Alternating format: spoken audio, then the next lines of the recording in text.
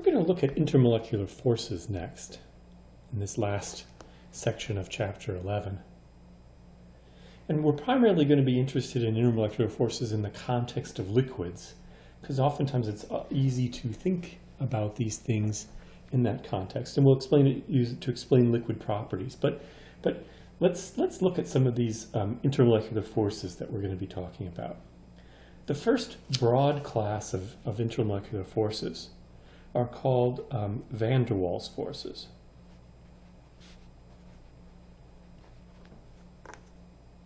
And there are really um, uh, two types of van der Waals forces.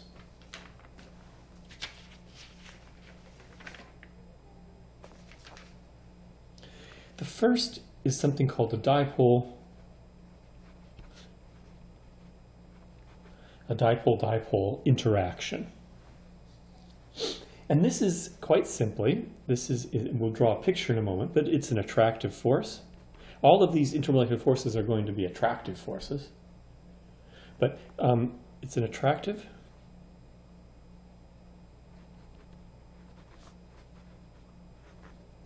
force resulting from polar molecules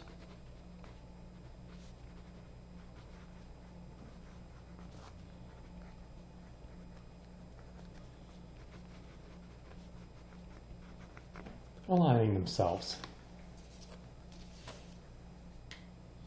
So what we could think about it is, is this, is we have, say, for example, a polar molecule in uh, HCl.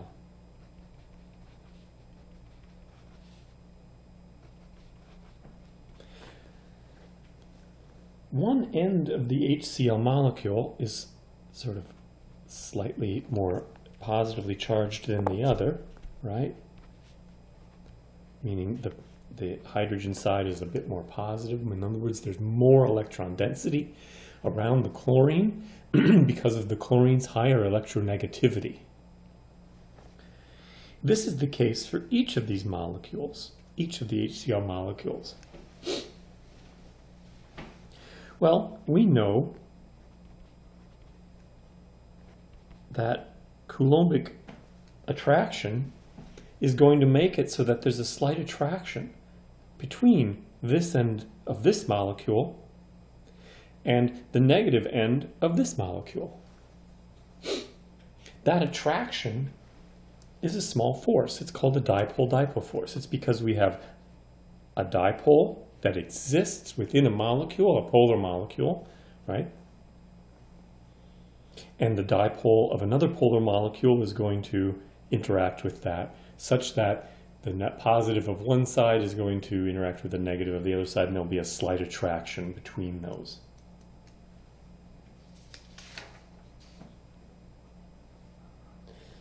Another type of, so that's, that's one type of a broader category called van der Waals forces. Another type of forces are called um, London forces. Sometimes they're called dispersion forces. Sometimes I've even heard them called London dispersion forces. So it sort of just depends on what the text is. But here, the, the, the, the key words here, so here we have, um, up here with dipole-dipole forces, we had polar molecules. With London forces, what we have are, are, are, are we could have this in, say, nonpolar molecules.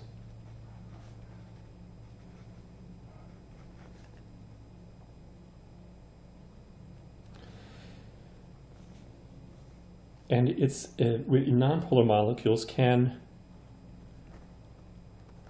create or have what's called would be called an instantaneous dipole.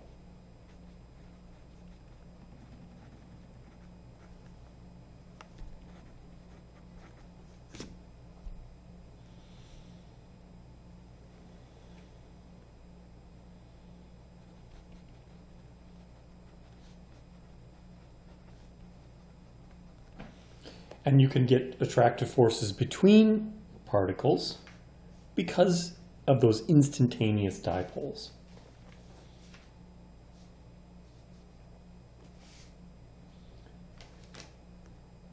Here's, there, here's, here's an example of that.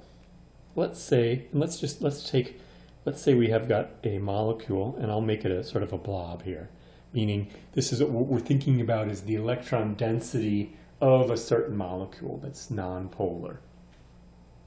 And the electron density of this molecule, well, let's put one right there next to it in that direction. Okay, so we have these two molecules. These two nonpolar molecules. So we're not, we don't really have a lot of dipole-dipole forces going on, meaning we have one end that's positive or negative.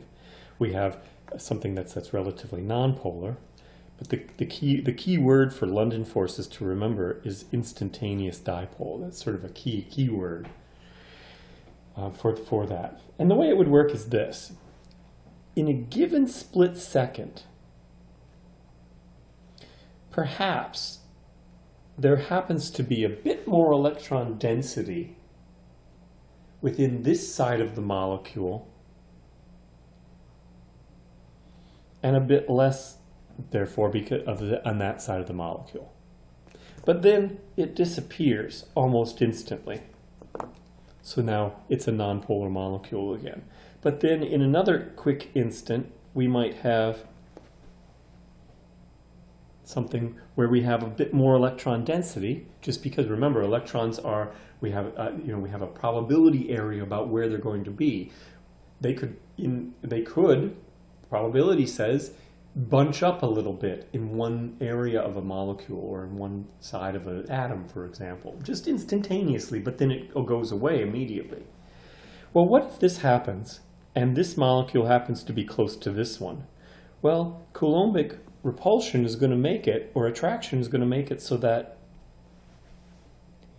you end up getting what would be called an instantaneous dipole acting between two different molecules and therefore there'd be a slight attraction. Now in the next instant, this goes, you know, the, the, the, the, dipoles go away, but you could create another one. And these London forces are very small because of that, as you could imagine. So we have varying, varying positions of electrons um, that move as they move about the nucleus. Now, these van der Waals forces, let's think about the energies involved in these. Approximate energies are on the order of 0.1 to 10 kilojoules per mole. If you recall, a chemical bond, when we're looking at delta H's of chemical bonds, chemical bonds have an energy on the order of 100 to 1,000 kilojoules per mole. So these are really a, hundred times weaker than a chemical bond right? About 100 times weaker than a typical chemical bond. Let's look at the next type of intermolecular force we'll look at. So, so, so far we looked at van der Waals forces and two different sorts of van der Waals forces. Let's look at another sort, something called hydrogen bonding.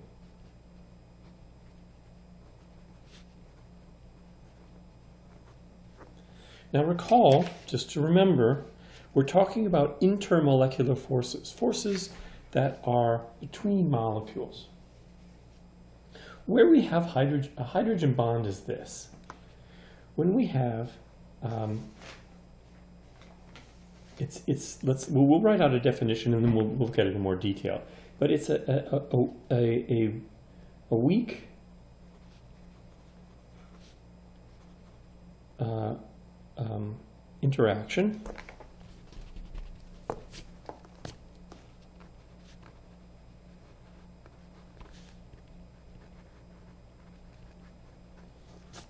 between, and it, it's an attractive interaction, between a hydrogen atom covalently bonded to a very electronegative easy thing to remember is NOF, nitrogen, oxygen, fluorine, to a very electronegative atom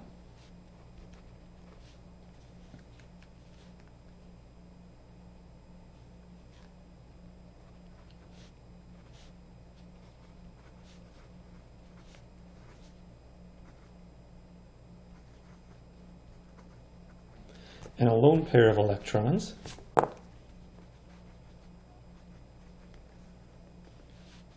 on a small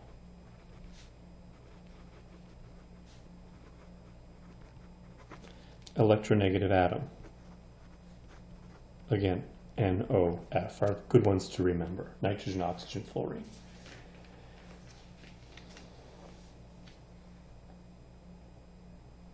When, so, so let's look at a few examples of this.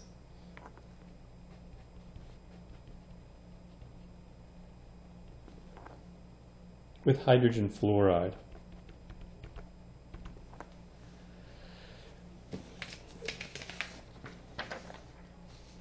Looking at our periodic table, if you recall, electronegativity goes up as you go up the periodic table, and as you go over, it goes over. So some of the most electronegative uh, atoms in the periodic table are nitrogen, oxygen, and fluorine because of the high electronegativity of, say, for example, fluorine in this case, the amount of electron density around the fluorine is very high compared to, say, for example, the HCl we looked at with dipole-dipole forces. And the positive charge on this end of the molecule is also extreme. And so what we have is hydrogen bonding. So what we have here is a, a hydrogen atom covalently bonded to a very electronegative atom. Right? And it's going to interact with the lone pair of electrons that are here in this fluorine, for example. It's a relatively weak to moderate attractive interaction. It's a very weak, so, and, and, and just to give you the numbers, just so you can see what the numbers are for hydrogen bonding, comparing them, 10 to 40 kilojoules per mole. So with van der Waals forces, we had on the order of 0.1 to 10, if you recall. So a good number to remember for van der Waals is around 1 kilojoule per mole. With hydrogen bonding, we're 10 times greater amount of interaction or, or attractive force. Another picture we could draw. And a chemical bond, as you recall, just to rem remind you, 100 to 1,000 kilojoules per mole. So Van an easy thing to remember, van der Waals forces about 1 kilojoule per mole. Hydrogen bonding, 10 kilojoules per mole. Um, and, and chemical bond on the order of hundreds of kilojoules per mole. So you can see that, that there's, that there's a, a very strong interaction between these hydrogen atoms that are bonded to a very electronegative atom. So for example, water displays a lot of hydrogen bonding characteristics between the molecules, a lot of interaction. This hydrogen, which is covalently bonded to an oxygen, and the lone pair of electrons on the oxygen, small electronegative atom, have an attraction that's on the order of 10 kilojoules per mole.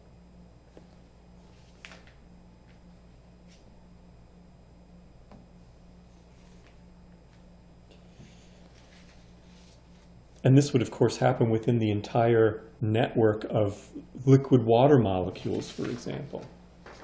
So let's look at um, a couple of examples of this phenomenon that are exhibited by boiling points of various molecules, various compounds. Typically, boiling point of a compound will go up with increasing mass.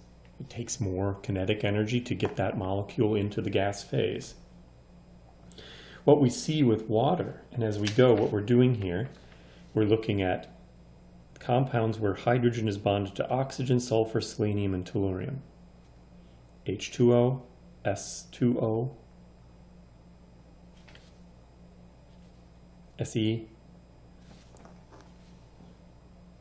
H2Se, H2TE, and so on. So we're going right down this row of the periodic table.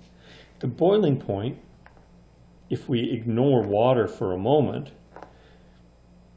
of these materials goes up with molecular weight, like we might expect.